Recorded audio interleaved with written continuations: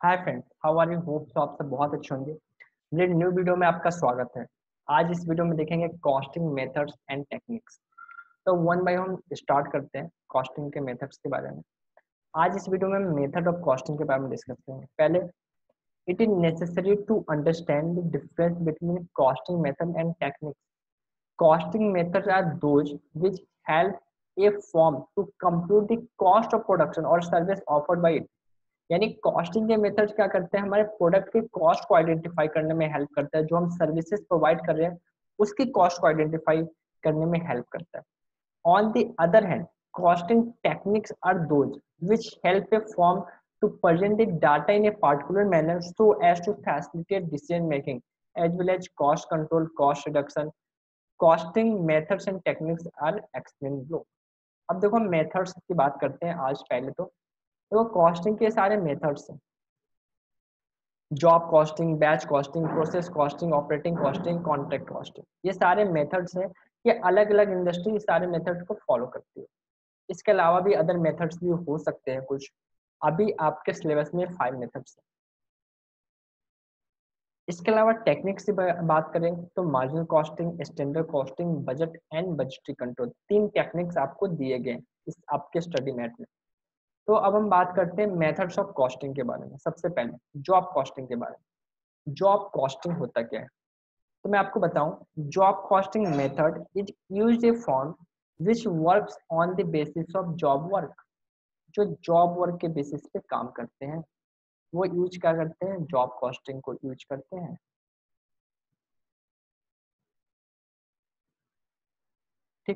There are some manufacturing units which undertake job work and are called a job order units the main feature of this organization is that they are produces according to requirement and specification देखो ये point बहुत important है produce according to requirement and specification यानी हर एक consumer का एक specific requirement होता है एक स्पेसिफिक स्पेसिफिकेशन होता है उसके हिसाब से ये प्रोड्यूस करते हैं।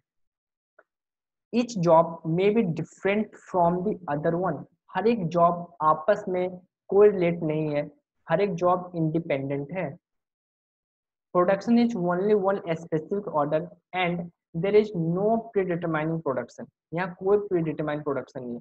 बायर आया कस्टमर आया ऑर्डर दिया, हमने प्रोडक्शन किया that is called job costing each job may be different from the another ये तो हो चुका है production is only one specific order and there is no predetermining production because of this situation it is necessary to compute the cost of each job hence job costing system is used in this system each job is treated separately and a job cost sheet is prepared to find out the cost of the job.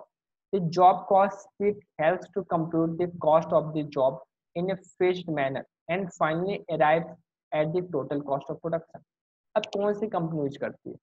जैसे printing की company अब देखो printing का क्या होता है? हर एक कस्टमर का अलग अलग रिक्वायरमेंट होता है। किसी को 10 पेज प्रिंट करवाना होता है, किसी को 20 पेज किसी को 100 पेज किसी को 500 पेज कोई कलर प्रिंट आउट करवाता है, कोई black and white print out करवाता है, कोई किसी और तरीके का प्रिंटिंग हो सकता है, ठीक है? कोई फ़ोटो प्रिंटिंग हो सकता है तो बहुत सारे टाइप के प्रिंटिंग होते हैं।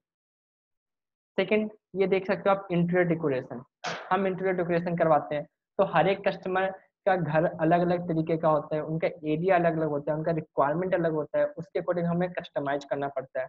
ये यहाँ पे भी हम जॉब कॉस्टिंग इम्प्लीमेंट कर सकते हैं। फिर नेक्स्ट क्या आता है, ये आप देख सकते हो मोबाइल रिपेयरिंग कंपनी अब हर एक पर्सन का फ़ोन में अलग अलग प्रॉब्लम होगा, सबका तो सेम प्रॉब्लम हो नहीं सकता।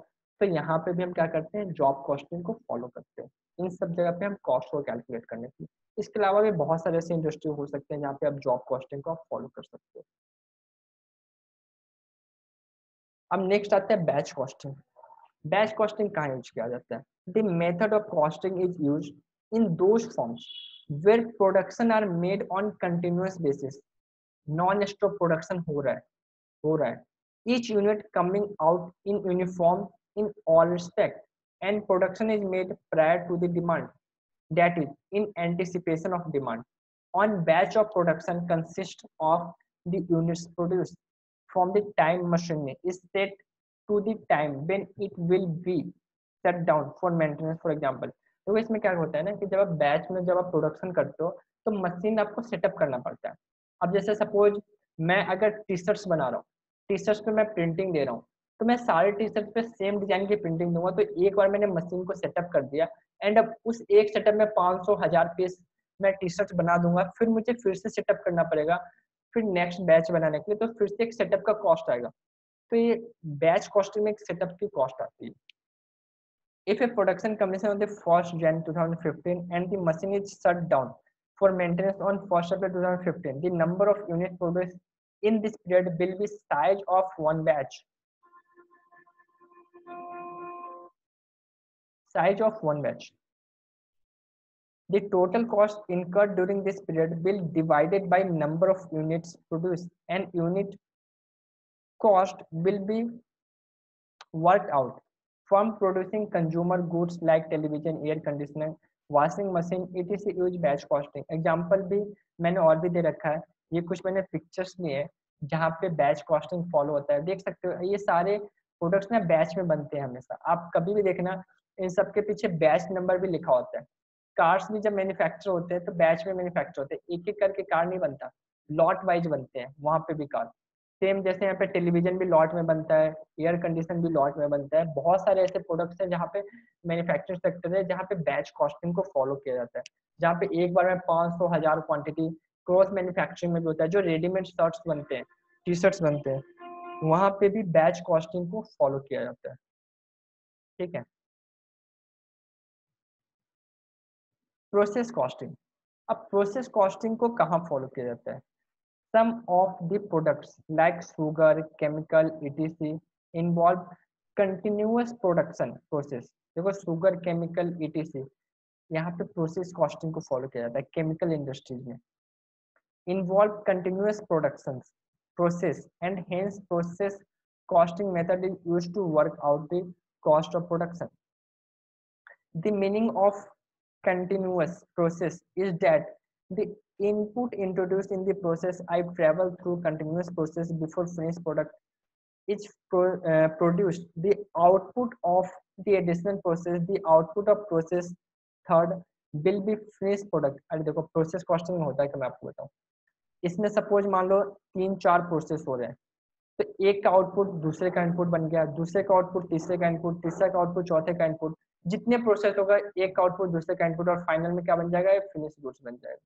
तो एक प्रोसेस कॉस्टिंग होता है, जैसे ऑयल के केस में। अब हम क्या करते हैं? कच्चा तेल बाहर से खरीद के लाते हैं। उसको प्रोसेस करते हैं, उसको रिफाइनरी में डालते हैं। वेरियस प्रोसेस होने के बाद उसमें से पेट्रोल आता है डीजल आता है मोबिल आता है किरोसन तेल आता है, इसके अलावा ग्रीस आता है, बहुत सारी चीज़ें आउटपुट आते हैं। ठीक है तो यहाँ पे भी क्या होता है? प्रोसेस कॉस्टिंग आती है। इसके अलावा भी अदर मेथड है, वो भी यूज़ होता है, सिर्फ़ एक ही मेथड नहीं यूज़ होता अलग अलग चीज़ें यूज़ होती है। अब जैसे यहाँ पे कुछ एग्जांपल दिया गया है वाल रिफाइनरी का दिया गया है कोल का दिया गया है, यहाँ पे भी प्रोसेस कॉस्टिंग को यूज़ किया जाता है। इसके अलावा देखो क्लोथ मैन्युफैक्चरिंग जो टेक्सटाइल कंपनी होती है टेक्सटाइल कंपनी भी यूज़ किया, जब हम कपड़ा को हम बनाते हैं फ्रॉम रॉ से कॉटन जब हम बनाते हैं तो यहाँ पे यूज़ करते हैं। बट यहाँ से जब रेडीमेड गारमेंट के पास वो कपड़ा जाएगा तो वो दूसरा कॉस्टिंग यूज़ करेगा।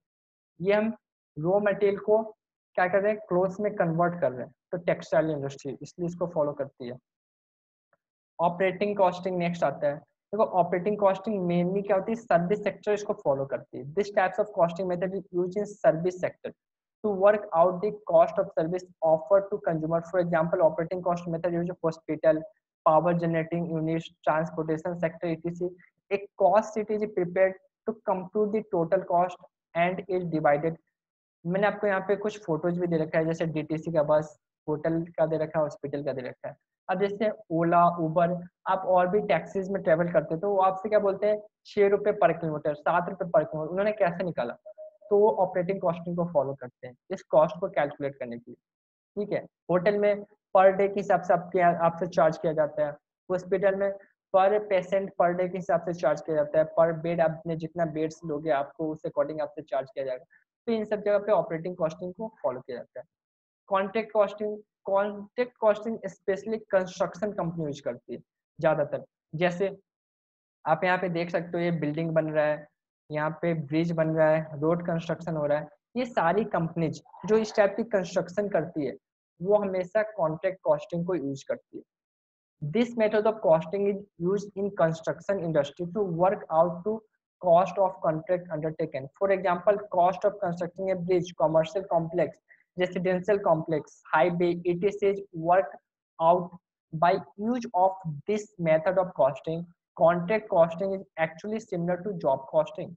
The only difference being that in contract costing one construction job may take in several months or even a year before they are completed while in job costing each job may be of short duration in contract costing as each contract may take a long period of completion the question of completing a profit is to solve the help of the well defined and accepted method तो ये सारे methods थे आज हमने discuss किया next video में हम कुछ टेक्निक्स ऑफ़ द कॉस्टिंग को डिस्कस करेंगे thanks for watching this video hope so आपको वीडियो अच्छा लगा हो bye take care best of luck